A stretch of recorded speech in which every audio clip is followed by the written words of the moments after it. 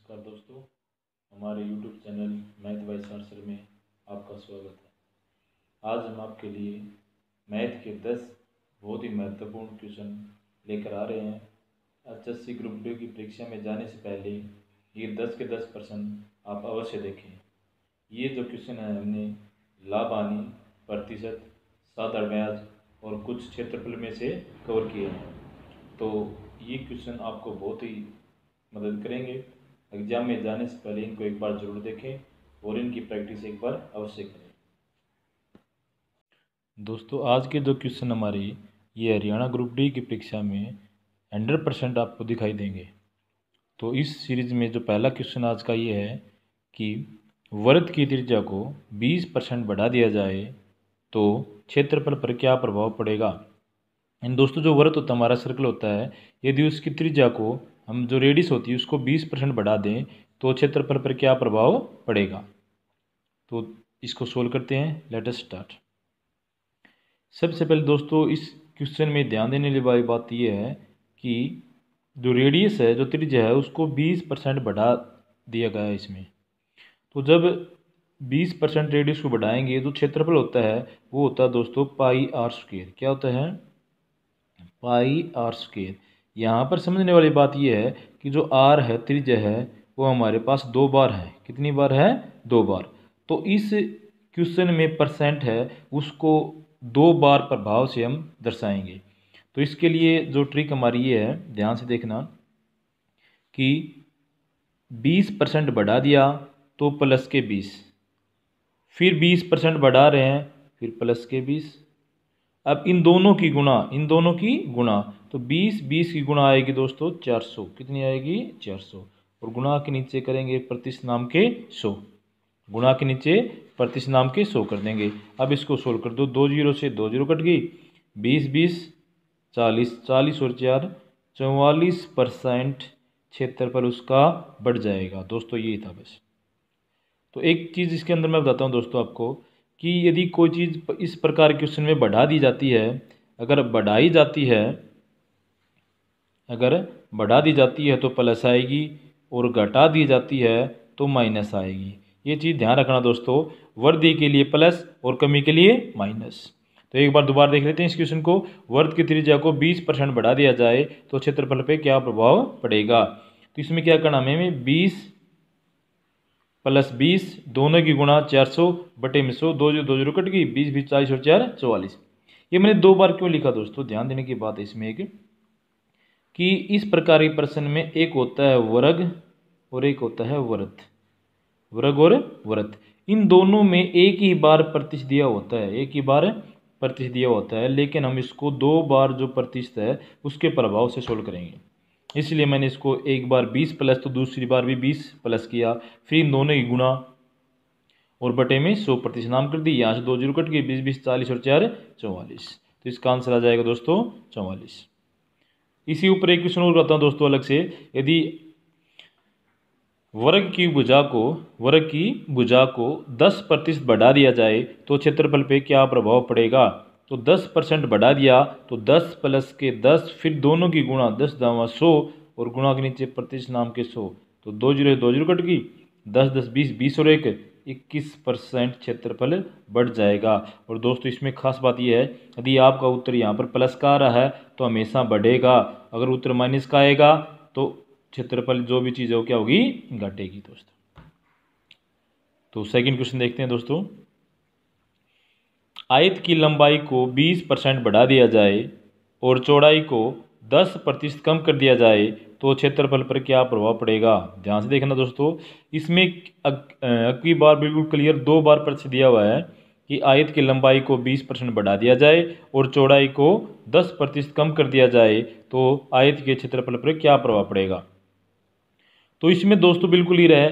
इस क्वेश्चन को करने से पहले एक चीज़ हम ध्यान से बिल्कुल देखेंगे कि जो वर्दी होगी, उसको हम प्लस में लिखेंगे।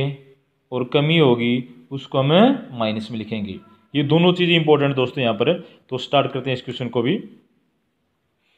आयत की लंबाई है, उसको 20 परसेंट बढ़ा दिया मतलब प्लस कर दिया। और जो चौड़ाई थी, उसको 10 परसेंट कम कर दिया मीन्स माइनस कर दिया। तो इसी से हम इसको सोल्व कर लेंगे दोस्तों, ध्यान से देखना अब जो वर्दी है, उसको लिखेंगे प्लस में और कमी है, उसको लिखेंगे माइनस में। तो ध्यान से देखो दोस्तों, लंबाई को 20 परसेंट बढ़ा दिया तो 20 प्लस का कर दिया। उसके बाद चौड़ाई को 10 परसेंट कम कर दिया तो 10 को माइनस कर दिया। फिर दोस्तों, अगला जो स्टेप होता है, इस ट्रिक के अंदर ही होता है, इन दोनों की मल्टीप्लाई इन दोनों की गुणा। तो 20 गुणा 10 दोनों की गुणा आ जाएगी हमारे पास कितनी?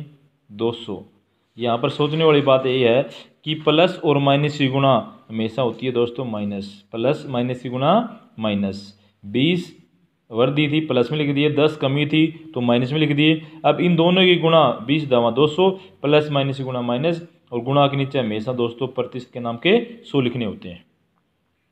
अब इसको सोल्व कर लेंगे हम। सोल्व करने के लिए क्या करना पड़ेगा? दो ज़ीरो से दो ज़ीरो काटेंगे हम। अब बीस में से दस गए कितने बच गए? दस। और दस में से ये दो गए कितने बच गए? आठ। आठ प्रतिशत उत्तर हमारा प्लस का है तो आठ परसेंट क्षेत्रफल क्या हो जाएगा?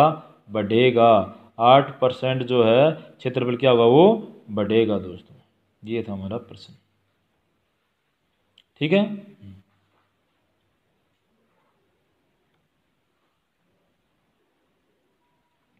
टाइप नंबर दो देखते हैं दोस्तों, इस सीरीज़ में। कि ए की आय बी की आय से 25 परसेंट अधिक है ए की आय बी की आय से 25 परसेंट अधिक है तो बी की आय ए की आय से कितना प्रतिशत कम है ध्यान से देखो दोस्तों एक बार ए की आय बी की आय से 25 परसेंट अधिक है तो बी की आय ए की आय से कितना प्रतिशत कम है तो इसको सोल्व कैसे करेंगे? ध्यान से देखना दोस्तों। इसमें केवल एक ही बार प्रतिशत दिया हुआ है। कितनी बार दिया हुआ प्रतिशत एक ही बार प्रतिशत दिया हुआ है। इसको सोल्व करेंगे। वही चीज़ है, अगर कमी है तो सौ में से घटाएँगे। और अधिक है तो सौ में प्लस करेंगे। बस ये ध्यान देखना। किसमें करना में सौ में करना है। सौ में से माइनस करेंगे सौ में ही हम प्लस करेंगे। तो 20 परसेंट अधिक है तो 120 हो जाएगा 10 परसेंट अधिक है तो 110 हो जाएगा और 25 परसेंट अधिक है तो दोस्तों हो जाएगा कितना? 125 तो 25 परसेंट अधिक है तो नया हो जाएगा हमारे पास कितना? 125 ध्यान देखो, ए की आय, बी की आय से 25 अधिक है। अगर 25 अधिक है तो नहीं हो जाएगी अब कितनी? 125 क्योंकि दोस्तों प्रतिशत का मतलब होता है 100 सौ सौ के ऊपर पच्चीस अधिक है तो कितनी हो जाएगी? एक सौ पच्चीस। बस दोस्तों, आंसर आ गया। अब गुणा में सौ कर दो। अगर प्रतिशत चाहिए तो हमें अब इसको काट देंगे। पच्चीस पाँच एक सौ पच्चीस, पाँच से बीस पाँच सौ। तो इसका आंसर आ गया दोस्तों, बीस परसेंट कम है। कितनी है? बीस परसेंट कम है। तो एक बार दोबारा देखो दोस्तों, बहुत ही इंपॉर्टेंट है। एग्ज़ाम में हंड्रेड परसेंट आ सकता है। कि ए की आय, बी की आय से 25 परसेंट अधिक है तो बी की आय, ए की आय से कितना परसेंट कम है? तो दोस्तों, इसमें करने से पहले एक चीज़ ध्यान से देखना। अगर 10 परसेंट कम है तो हमारे पास आ जाएगा नब्बे। दस बटे नब्बे, यानी जो चीज़ नहीं होगी हमेशा नीचे आएगी। अगर बीस परसेंट कम है तो बीस कम है तो नया हो जाएगा, हमारे पास कितना? अस्सी।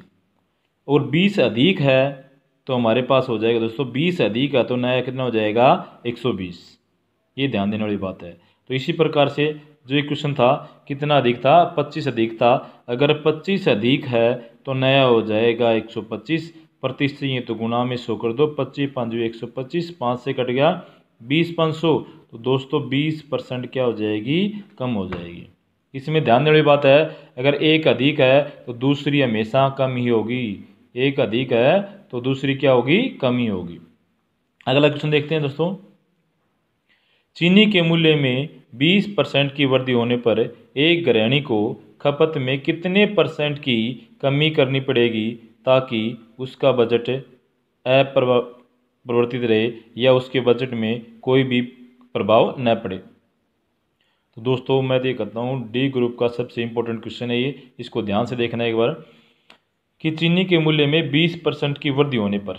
तो थोड़ी देर पहले मैंने बताया अगर 20 बढ़ रहा है तो न हो जाएगा 120 और 20 कम हो रहा है तो कितना हो जाएगा? 80 तो 20 की वृद्धि हुई 20 की वृद्धि हुई तो अब नया कितना हो जाएगा? 120 ध्यान से देखो दोस्तों 20 की वृद्धि हुई तो अब नया हो जाएगा 120 और परसेंट चाहिए तो गुणा में 100 आंसर आएगा दोस्तों, इतना ही था।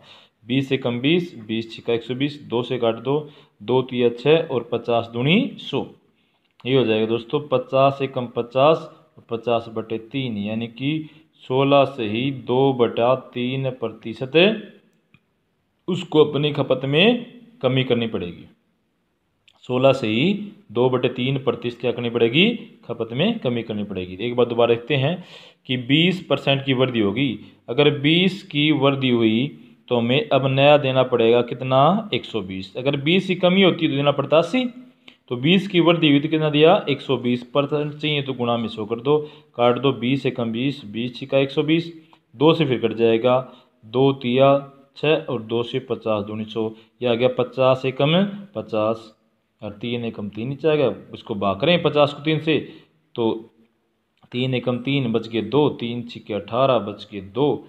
और नीचे आ जाएगा तीन का तीन, यानी सोलह से ही दो बटा तीन परसेंट। उसको अपनी खपत में कमी करनी पड़ेगी। दोस्तों, इन सभी क्वेश्चनों में से ये जो क्वेश्चन आए ये मस्ट है। इसको बिल्कुल एग्ज़ाम में क्लियर करके जाएँ आप। क्वेश्चन ये अगला कि चीनी के मूल्य में 20 परसेंट की कमी होने पर, चीनी के मूल्य में 20 परसेंट की कमी होने पर एक उपभोक्ता को पाँच सौ रुपये में पाँच किलोग्राम चीनी अधिक मिलती है। तो चीनी का प्रारंभिक मूल्य कितना है? एक बार क्वेश्चन दोबारा पढ़ते हैं। चीनी के मूल्य में 20 परसेंट की कमी होने पर एक उपभोक्ता को पाँच सौ रुपये में पाँच किलोग्राम चीनी अधिक मिलती है। तो चिन्ह का प्रारंभिक मूल्य ज्ञात करो। यानी जो कमी होने से पहले, ये 20 परसेंट की जो कमी हुई है, इससे पहले चिन्ह का मूल्य कितना था, ये दोस्तों में निकालना है। तो थोड़ी देर पहले पिछले क्वेश्चन में क्या था, अगर 20 परसेंट की कमी होती है तो अब नया देना पड़ेगा कितना? 80 और 20 की वृद्धि होती तो देना पड़ता हमें कितना? 120 तो ध्यान से देखो दोस्तों 20 परसेंट की कमी हुई तो अब हमें देना पड़ेगा कितना? अस्सी। कितना देना पड़ेगा? अस्सी। क्योंकि बीस कम हो गया सौ में से तो कितना देना पड़ेगा? अस्सी। अब ध्यान से देखो दोस्तों, इस बीस का कितना गुणा हम दे रहे हैं? बीस का कितना गुणा हम दे रहे हैं? तो बीस का दे रहे हैं कितना? बीस चौके अस्सी, कितना गुना चार गुना ज़्यादा। बीस चौके अस्सी, इसका देखो दोस्तों, भाग करना इसको। इसका पाड़ा पड़ना यहाँ तक। बीस चौके अस्सी, कितना आ गया? चार गुना हम दे रहे हैं। इसको करने से पहले दोस्तों एक चीज़ बताता हूँ, आप साइड में एक बार नोट कर लो कि हमारे पास जो बजट है, वो कितने रुपए का है? पाँच सौ रुपये का। अधिक जो मिल रहा है हमें, वो कितना मिल रहा है? पाँच किलो मिल रहा है। ये दो चीज़ आप ध्यान से नोट कर लो। बजट कितने का है? पाँच सौ का। अधिक कितनी मिली हमें? पाँच किलोग्राम चीनी अधिक मिल रही है। तो बीस परसेंट की जो कमी हुई थी तो इस कारण बीस की कमी हुई तो अब हमें देना पड़ेगा कितना? अस्सी। तो कितना गुना ज़्यादा दिया? बीस चौकसी चार गुना ज़्यादा दिया। और यहाँ पर दोस्तों, ध्यान से देखो, कितना ज़्यादा मिला हमें? पाँच किलोग्राम ज़्यादा। देखो, पाँच सौ रुपये में पाँच किलोग्राम चीनी क्या मिली हमें? अधिक मिल रही है। तो अधिक, यानी इस देखो, बीस चौकसी चार गुना अधिक दिया हमने कमी का। और यहाँ पर कितना अधिक मिल रहा है? पाँच। इन दोनों अधिक अधिक गुणा कर लो, यानी पाँच चौके बीस। और इस गुणा के ऊपर दोस्तों रख दो बजट। गुणा के सिर के ऊपर रख दो बजट यानी बजट हमारे पास कितने का है? पाँच सौ का. अब काटो दोस्तों, एक ज़ीरो से एक ज़ीरो, दो से पच्चीस दूनी पचास. यानी ये आपका आंसर आ चुका है पच्चीस रुपये कौन सा मूल्य आ गया ये?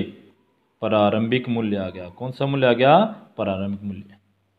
दोस्तों, कितना आसान था, एक लाइन में सोल्व हो चुका है. एक बार दोबारा देख लो रिटेक करते हैं इसी का. इंपॉर्टेंट इसलिए बीस की कमी हुई तो देना पड़ेगा अस्सी।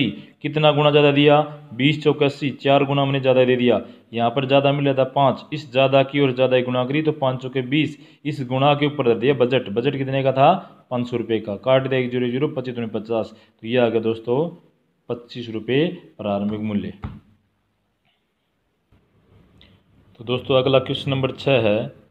वो ये है कि कोई धन कितने प्रतिशत वार्षिक दर से बीस सालों में अपने से तीन गुना होगा। तो दोस्तों, ये भी क्वेश्चन बहुत इंपॉर्टेंट है। मैंने जो भी क्वेश्चन इसमें शामिल किए हैं, वो H S C D group के लिए जितने भी महत्वपूर्ण प्रश्न बन रहे थे, वो इस वीडियो में शामिल किए हैं। तो ध्यान से देखना, यह है साधारण ब्याज से क्वेश्चन हमारा, कि कोई धन कितने परसेंट वार्षिक दर से 20 सालों में अपने से तीन गुना होगा। इसमें दोस्तों, ध्यान देने वाली बात यह है, जो तीन गुना हो रहा है, हमें इसी पे फोकस करना है। कितना गुना हो रहा है? तीन गुना।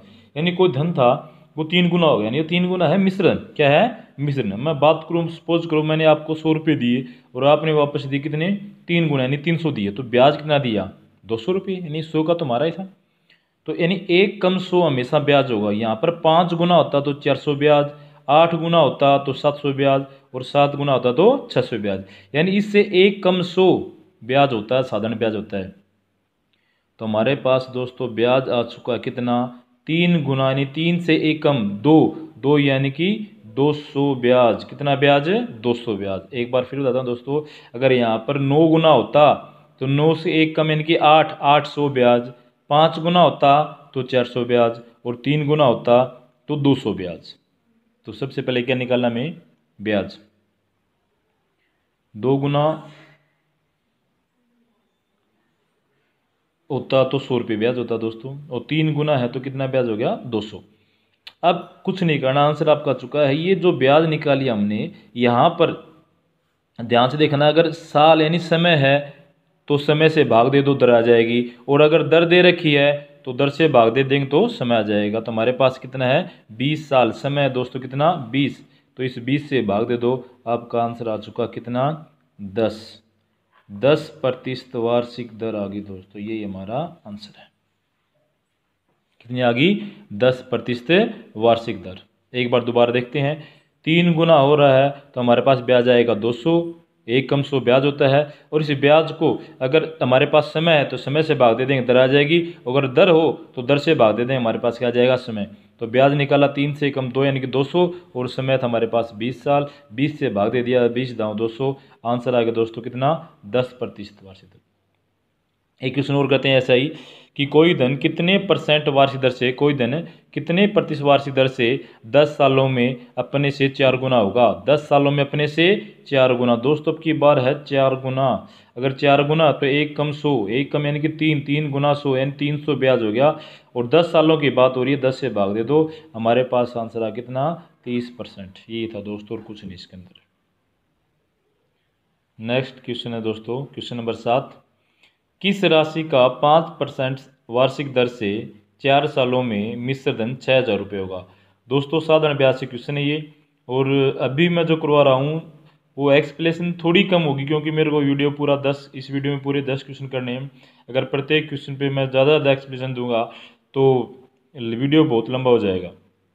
तो ध्यान से देखते हैं कि दर हमारे पास कितनी है? पाँच परसेंट है, समय है चार साल है। और जो मिश्र धन दे रखा है, वो क्या होता है? जो मिश्रण दोस्तों होता है, मूलधन और ब्याज का जोड़। मूलधन और ब्याज का जोड़ होता है, वो क्या कहलाता है? मिश्रण कहलाता है और ये मिश्र धन है कितना? छः हज़ार रुपये। तो ध्यान से देखो दोस्तों, हमारे पास इसमें गिवन है, जो रेट है, वो कितनी है? पाँच परसेंट है।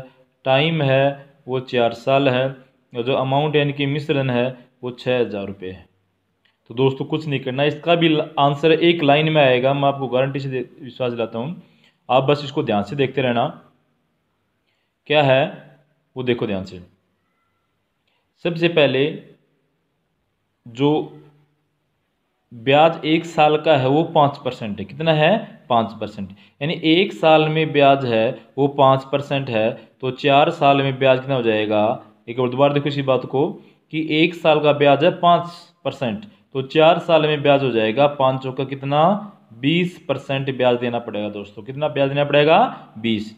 इस चीज़ को दोबारा देखो, एक साल में पाँच परसेंट तो चार साल में बीस परसेंट ब्याज हो गया। क्लियर है? और जो दोस्तों, ये जो मिश्र धन था, ये क्या था? एक बार दोबारा देखो, इस मिश्र धन में एक मूलधन होता है और एक ब्याज होता है। और दोस्तों मूलधन होता है कितना परसेंट? है सौ परसेंट। तो हमारे पास ब्याज आ चुका, कितना? साधन ब्याज आ गया बीस परसेंट। और मूलधन होता है कितना? सौ परसेंट दोस्तों। कितना होता है? सबको पता है मूलधन होता है सौ परसेंट। अगर मैं मिश्र निकालूँगा तो मेरे पास मिश्र आ जाएगा। सौ तो मूलधन हो गया बीस ब्याज टोटल हो गया कितना? एक सौ बीस परसेंट मिश्रण हो चुका दोस्तों। कितना हो गया? एक सौ बीस। सिंपल सी बात है, इस ब्याज की ओर समय गुणा करके आप सौ में जोड़ दो। ब्याज की ओर समय गुणा करके सॉरी, जो दर है हमारी, इसकी ओर समय की गुणा कर दो तो क्या जाएगा? जो गुणा आएगी उसको आप सौ में जोड़ दो तो वो आ जाएगा आपके पास है मिश्रधन ठीक है? तो ये 120 परसेंट ही मिश्रधन है और 6000 भी मिश्रधन है। ध्यान से देखो देखो तो 120 परसेंट मिश्रधन है और 6000 भी मिश्रधन है, दोनों को आप बराबर रख दो। यानी 120 परसेंट है, वो है 6000 के बराबर। 120 परसेंट है, वो 6000 के बराबर है। और दोस्तों, यहाँ से हमें निकालना है मूलधन, और मूलधन कितना था? 100 परसेंट, यानी अब हमें 100 परसेंट निकालना है। तो दोस्तों, इसके बटे में 100 कर दो, इस प्रतिश नाम के, और इसकी पलटी में दो। तो 100 कहाँ चल जाएगा? ऊपर चल जाएगा, यहाँ से 120 आ जाएगा कहाँ पर? नीचे। ये तो आपको पता है दोस्तों, बराबर से उधर जाते हैं चलते हैं। जो नीचे, वो कहाँ चल गया? ऊपर चल गया, और ऊपर वाला कहाँ गया? नीचे। अब इसको काट दो। एक ज़ीरो से एक ज़ीरो, बारह एकम बारह बारह पंजू साठ। एक ज़ीरो की एक ज़ीरो पचास और सौ की गुणा दोस्तों आ जाएगी कितनी? पाँच हज़ार। कितनी आ जाएगी? पाँच हज़ार। तो यही हमारा दोस्तों आज का क्या मूलधन।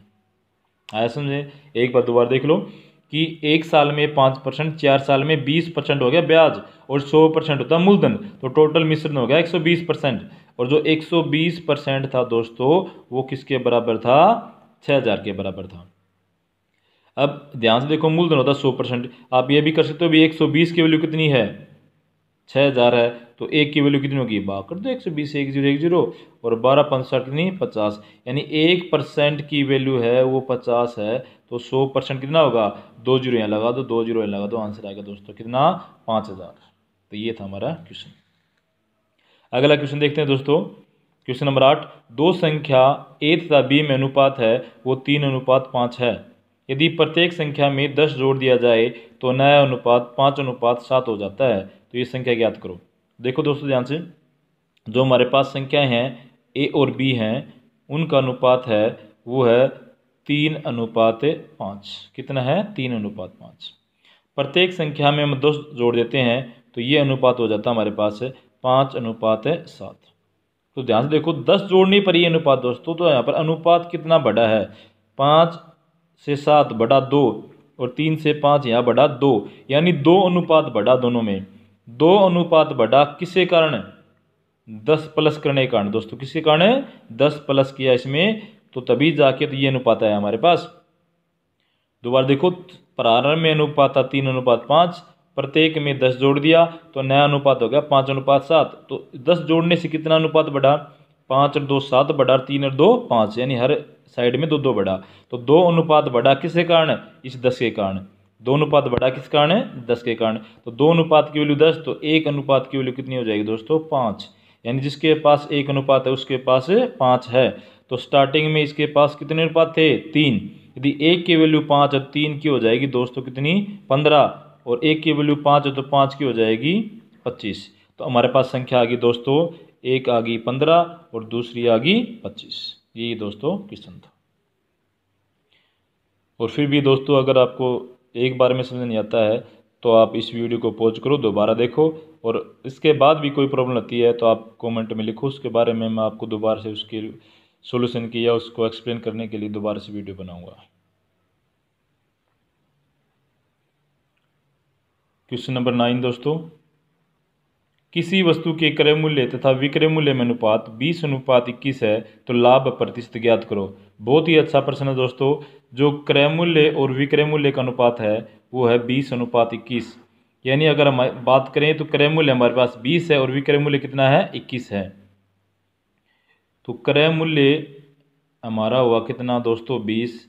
और जो विक्रय मूल्य हमारा हुआ, वो होगा इक्कीस। यानी बीस में हमें कोई चीज़ खरीदी और इक्कीस में मैंने वो चीज़ बेच दी तो हमें लाभ हुआ कितने का? एक रुपये का। कितने का लाभ हुआ? एक का। अब लाभ प्रतिशत निकालना दोस्तों तो लाभ और हानि हमेशा किसके ऊपर होते हैं? लाभ और हानि हमेशा होते हैं क्रय मूल्य के ऊपर। किसके ऊपर? है क्रय मूल्य के ऊपर।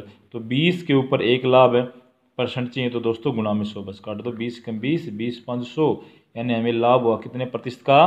पाँच प्रतिशत का लाभ हुआ। क्लियर है? ठीक है दोस्तों, अगला क्वेश्चन देखते हैं। ये क्वेश्चन भी दोस्तों लाभ आने से ही है कि एक वस्तु को 20 परसेंट लाभ पर 6000 में बेचा जाता है तो उसे कितने में बेचें? कि 30 प्रतिशत का लाभ हो। क्वेश्चन को दोबारा देखते हैं एक बार। एक वस्तु को 20 परसेंट लाभ पर छः हज़ार रुपये में बेचा। उसे कितने रुपए में बेचें कि तीस प्रतिशत का लाभ हो? बहुत ही सिंपल है दोस्तों।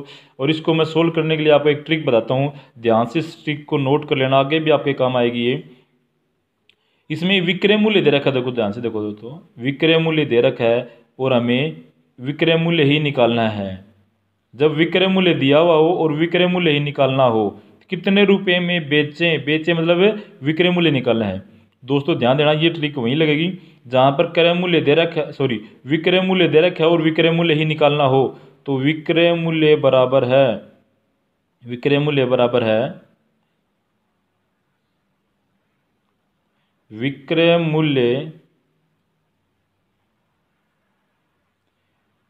बटे पहला केस, विक्रय मूल्य बटे में फ़र्स्ट केस गुणा में सेकंड केस विक्रय मूल्य बटे फ़र्स्ट केस गुणा में सेकंड केस तो दोस्तों मैं आपको केस बताता हूँ ध्यान से. फ़र्स्ट केस ये था कि पहली बार कितने में बिकी और सेकंड केस वो हो रहा है कि सेकंड टाइम वो उसी को कितने में बेच रहा है बस. तो फ़र्स्ट टाइम में बेचा 20 परसेंट लाभ पर. तो 20 लाभ में बिकेगी तो वो चीज़ बिकेगी 120 में, क्योंकि 100 परसेंट तो क्या होता है? क्रय मूल्य. और दोस्तों 20 लॉस में बिकेगी तो बिकेगी अस्सी में. इसी प्रकार से 30 परसेंट लाभ पर बेच रहा है तो बिकेगी 130 में, और 30 लॉस में बेचेगा तो बिकेगी 70 में, क्योंकि लॉस माइनस होता है और प्रॉफिट प्लस होता है। तो अब इस क्वेश्चन को कर लेते हैं हमारे पास। दोस्तों विक्रय मूल्य कितना दे रखा है? छः हज़ार रुपये। तो ये हमने लिख लिया कितना? छः हज़ार रुपये। अब विक्रय मूल्य बटे में पहला केस। तो दोस्तों, ध्यान से देखो, पहले केस में हमारे पास क्या है? 20 प्रतिशत का लाभ है। अगर 20 का लाभ है तो दोस्तों, वो चीज़ बिकेगी 120 की। कितनी बिकेगी? 120 की। अब सेकंड केस में ध्यान से देखो दोस्तों 30 परसेंट का क्या है हमारे पास? लाभ है। अगर 30 का लाभ है तो सेकंड केस हो जाएगा कितना? 130 क्योंकि लाभ ऐड होता है सो में। बस दोस्तों, इसको काट दो आंसर आ गया आपका। एक ज़ीरो से एक ज़ीरो काट दी, और बारह पाँच साठ, एक ज़ीरो की एक ज़ीरो। ये हो गया पचास और एक सौ तीस गुणा करनी आप तेरह और पाँच गुणा कर लो। तेरह पाँच जो पैंसठ और एक रेख दो ज़ीरो पीछे लगा दो। दोस्तों, ये आपका आंसर आ चुका है। यानी उसको जो विक्रय मूल्य होगा, वो हमारे पास होगा छः हज़ार पाँच सौ रुपये। यानी छः हज़ार पाँच सौ में बेचेंगे, तब जाके उसको कितने प्रतिशत का लाभ होगा? तीस प्रतिशत का। एक बार दोस्तों, इस क्वेश्चन दोबारा देख लो। लास्ट क्वेश्चन है, क्या पता एग्ज़ाम में आ भी जाइए। कि एक वस्तु को बीस प्रतिशत लाभ पर छः हज़ार में बेच दिया। उसे कितने में बेचें कि तीस प्रतिशत का लाभ हो? तो दोस्तों, जब विक्रय मूल्य दे रखा और विक्रय मूल्य निकालना हो तो विक्रय मूल्य बराबर होता है विक्रय मूल्य बटे में फ़र्स्ट केस गुणा में सेकंड केस। और केस दोस्तों, अगर प्लस है तो सॉरी, लाभ है तो सौ में प्लस करेंगे और आनी है तो सौ में माइनस करेंगे। यहाँ पर दोनों केस में लाभ है तो पहला केस जो पहली बार बिकी बीस पॉइंट लाभ पर तो हो जाएगा एक सौ बीस, दूसरी बार बेच रहा है तीस, लाभ में तो हो जाएगा एक सौ तीस। तो छः हज़ार बटे में पहला केस यानी एक सौ बीस गुना में सेकंड केस, तीस ला दो तो एक सौ तीस, ये काट दिया मैंने यहाँ काटने के बाद आ जाएगा तेरह पाँच पैंसठ, यानी पैंसठ सौ रुपये क्या आ जाएगा उसका? विक्रय मूल्य हो जाएगा। तो इन क्वेश्चनों को दोस्तों पेपर में ध्यान से करके जाना, सभी क्वेश्चन इंपॉर्टेंट हैं और पेपर को अच्छे से करके आना। वीडियो देखने के लिए धन्यवाद। अगर अच्छा लगे तो इस चैनल को लाइक और सब्सक्राइब करें।